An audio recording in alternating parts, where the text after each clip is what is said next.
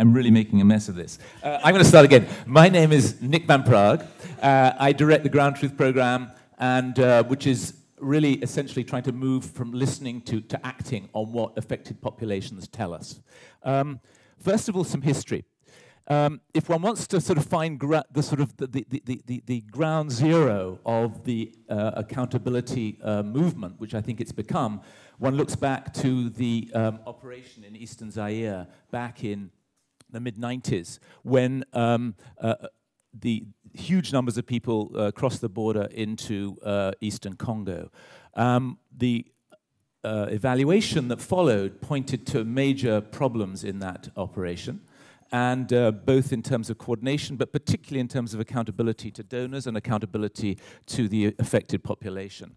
Um, what that gave rise to was a spate of initiatives uh, over the course of the next 10 years, um, which provided standards, they provided codes of conduct, certification schemes, um, capacity building initiatives uh, designed to uh, explain why you should be accountable and how you should do it.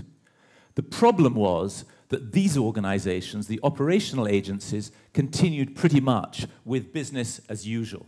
And the reason they continued with business as usual was because these people were not included in the mix. The voice of the affected people was really nowhere to be found except as an aspiration.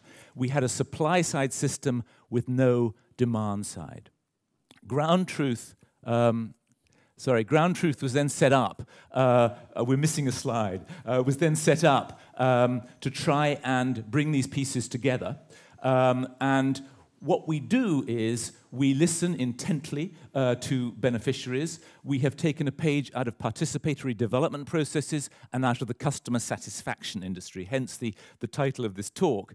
Um, what we do from the customer satisfaction industry is we ask few questions, but we ask them very often we um, then track that data and see how it evolves uh, over time. We don't look at facts, we look at perceptions. And we um, score people's perceptions so that we can track those over time and see what difference it makes. It's very important that the data we get is actionable. And the questions we ask revolve around four pillars. We ask about the relationship. We ask questions related to trust, questions related to competence, questions related to, um, uh, to responsiveness, trust, uh, and um, competence. We look at services, we look at the quality of services, the relevance of services, um, and the timeliness of services. We try and find a question that relates to the final outcome. And we also look very specifically at agency, the extent to which people feel uh, able to find and contribute to solutions themselves. Um, we have now tested this approach in Haiti, in Pakistan, in Ukraine, and we have operated at scale in Sierra Leone during the Ebola crisis and now in Nepal. And I just want to give you some, some data now. So here's a question we asked in 2013 uh, to people in Haiti. Um, do you feel safe in the place where you live? This is one of five questions that we asked a representative sample of people across uh, camps in Port-au-Prince. Anything below the x-axis is a tendency to disagree with a statement. So in the first round, you can see, when people were asked in this camp run by Concern International whether they felt safe in the place where they lived, the score was minus 80. That was a huge wake-up call. People knew anecdotally it was a problem, but they didn't realize it was this much of a problem. The result was that um, Concern decided to fast forward the relocation program, and within three months, the camp was closed, and people were now living in the neighborhoods. And we went back and did another round with the same community. And what had happened during those three months, the same people, but in a different location, their attitudes, their perceptions had changed enormously. It went from minus 80 to plus 80. And this also had a programmatic implication, because what happened here was that there, was, that there were two pieces to the puzzle, the programmatic puzzle. One was livelihoods, and one was community solidarity. When people were asked, why did you respond so positively, they said, we are welcome. I sleep well in my, in my bed. So the, the solidarity program became much less important, and emphasis was placed on the uh, livelihoods program. The next three months later, things were better, and they continued being better. This was something that didn't happen. This is in, this was, we, we proposed doing the same kind of survey to UNHCR in Zaatari refugee camp.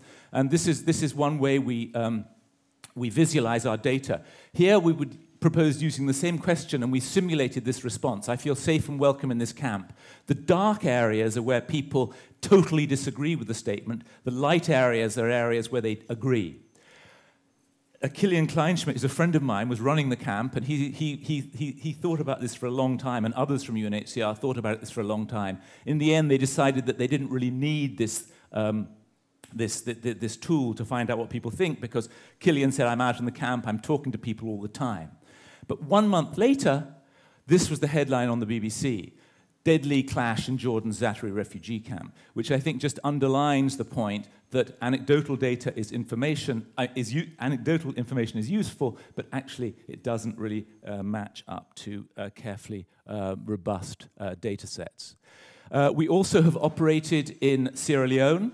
And um, we had both a frontline worker survey and a citizen survey. And one of the questions we asked citizens was overall, is the Ebola response making progress against the spread of the disease? This is a classic outcomes question. And you can see here that over the course of four months, from um, December through April, people were steadily growing more confident in the, in the, in the, in the response and its, and its effect on curtailing the spread of the disease. But then you might say, but these are just people's perceptions. Are they really valid?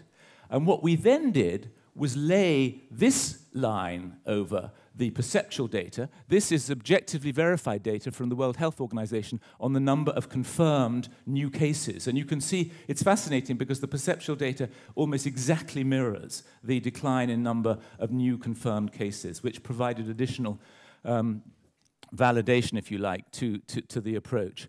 Just very quickly in closing, I think what we've, the work we've done so far, working with many partners, shows that data collection can be quick and effective. The partners we work with are all local partners. Uh, there are many pieces to this puzzle. There's a communication piece, which is extremely important, and it can be effective both in informing and influencing the way programs are implemented what we've discovered is the tipping point with this data tends to come after two or three rounds. One data set doesn't do it. The second one gets you thinking, the third one gets you moving. Very important to track people's perceptions over time. Third, recommendations. The data doesn't give you all you need. It's very interesting that people want to have recommendations based on the data. Even if they disagree with the recommendations, it's a kind of stimulus, it's a spur to reflection. Uh, very important, too, to find very visually attractive, uh, intuitive ways of presenting the data. Finally, incentives. Really important that we have donors who are pushing organizations to do this stuff, and I just have to uh, raise my hat to DFID, which supports probably 90% of activity in this domain. Um, it's very important that we have uh, the kind of support we've had from OCHA in Nepal as a facilitator of this process. It's very important um, that agencies uh, create the incentives for their own staff to, to behave in these ways. And I think our own community needs to be able to put in place through CDAC and, and other means, um, the, the, the, the services which will actually allow us to deliver on this agenda. Thank you.